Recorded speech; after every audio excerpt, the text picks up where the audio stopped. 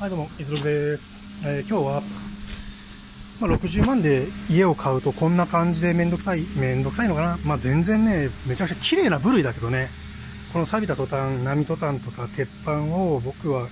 全部黄色で塗ります。黄色と白で外装はと統一して、内装は白とダークブラウンで、えー、統一します。そして一番困ってることが一つ。この波トタンを無理やり石で押し込んでんだよね。で、この波トタンが比較的新しいんだ。これなんのこっちゃ、なんのこっちゃらほいとか思ったけど、あのー、あ、また駆除したのに蜂の巣ができてるよ。で、あと蜂の巣が多分ね、床の軒下に、床下にできてるんよね、一個。くそでかいのが。しかもオオスズメバチ。多分これどうしようかなっていう感じです。床を剥いで、大引きの上の根だからちょっと、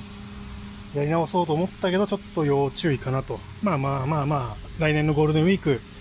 開けてびっくり、オーマイガーみたいな感じになってんだろうけど、はい。で、問題なんだ、ここがね。なんでかっていうと、た、あの、これ、今分かりにくいんだけど、これが納屋で、はい。まあ、この納屋の下なんだ。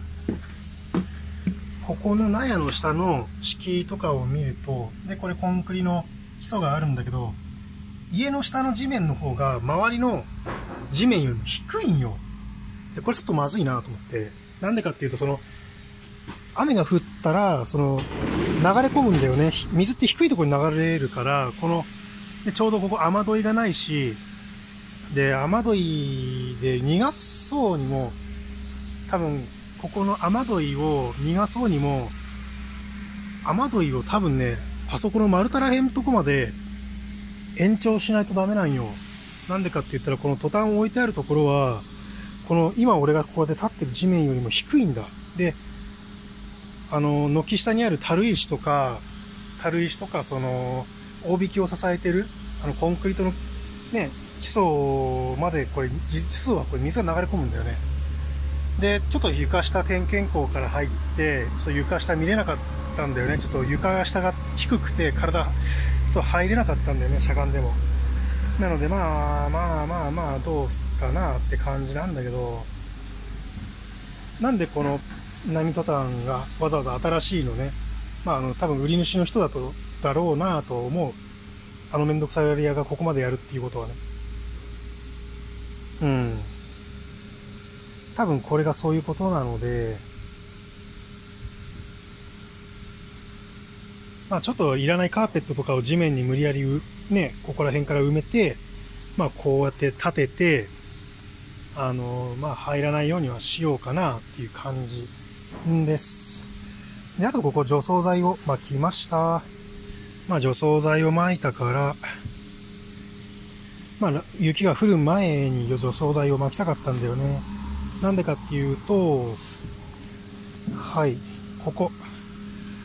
こいつですな。で、これがあの土地の境界線を、あの、示すもんなので、まあ大体ちょっとこれも見づらいんだけど、まあここの、コンクリがあって、まあ木は、なんやの際までが、あれだよね。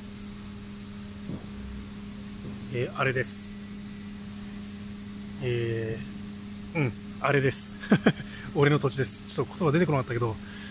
えっ、ー、と、まあ、そんな感じの境界線です。で、やっぱりちょっと気をつけたいのっていうのは、お隣がこれ製材所です。で、まあ、お隣の、まあ、俺も林業やってたから、それに製材所だから、まあ、邪険にはしてないけど、まあ、あの、朝かな？修行の時、修行の時にね、この原木、今カットしてる原木を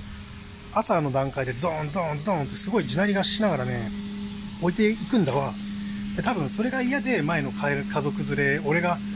あの交渉する前に交渉するって言ってた家族連れが辞めたと思うんでね。あ、多分その前の人か。うん。契約したけど、1、3日で出て行ったっていう人たちだな。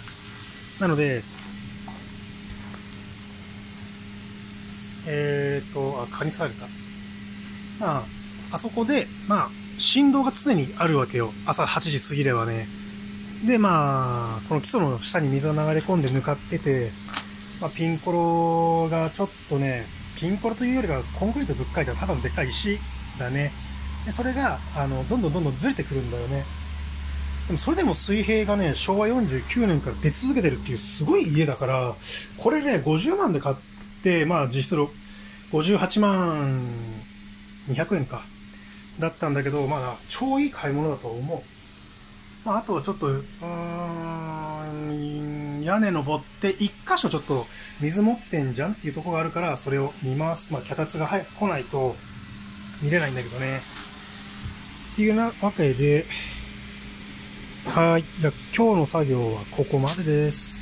まあ、なんとか石を引き抜いて、はい。まあ、この車が縦に重列で2台楽に入れるようにまで、えー、して、で、今度次はですね、えー、まあ、次の積み込みのバイト行くまで時間あるんで、高枝切りチェーンソーですね、高枝チェーンソーで、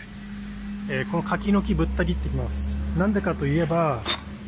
この柿の木は多分縦列すると、まあこの木の真下に車を置くことになるんだけど、まあ今この時期になったら今ちょっと柿の実ができてきちゃってるので、まあ結構鳥に食われたりするよね。だからこの柿の実が腐って熟して落ちてくると、まあ漏れなく車直撃するよっていう、ちょっといけないなという感じと、あともっともっといけないのは、まあ俺、半袖だからいけないんだけど、はい。一番奥のあの、細い木のところの根元、あの、ちょっと、緑に、黄緑、薄い黄緑の葉っぱで見えないんだけど、あの下にちょっと通風口があって、あの下にほら出てきた。あの、あ、わかんないか。あの下におそらくめちゃくちゃでかいスズメバチ、オオスズメバチの巣があると思われる。なんでかっていうと、ここの蜂取りだけが、すごい蜂がね、かかってるんよ。まあちょっとお、後で大慌てでやったんだけど、まあちょっと心は多分、効き目が薄くてかかってないからもう一回買い直して今日の夜、あの、スズメの罠仕掛ける、スズメバチのね、罠仕掛けるけど、ちょっとね、はぐりたい床なんで、このはぐりたい床の、おお床下に巣があると嫌なので、ちょっと雪降る前になんとかします。はい。てな感じです。